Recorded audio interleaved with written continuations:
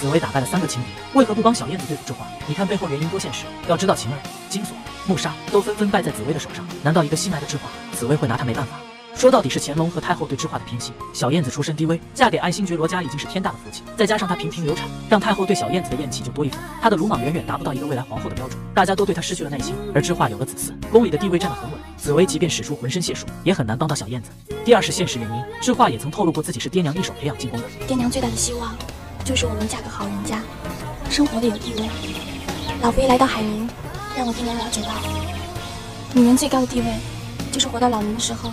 像老佛爷那样，直白点就是让她当皇后。紫薇除了最看重友情，她更看重家人。尔康是学士府的一等侍卫，为了一家子的前途，她也断然不去得罪智化。她注定不可能如第一部和第二部那样不要命地顶撞皇帝太后。第三，永琪和尔康完全不同。尔康的心明显比永琪坚定，从未对别的女人动摇过，而永琪就不同了，他喜欢过智化，而且作为未来的一国之君，有三妻四妾太正常了。所以紫薇选择漠视。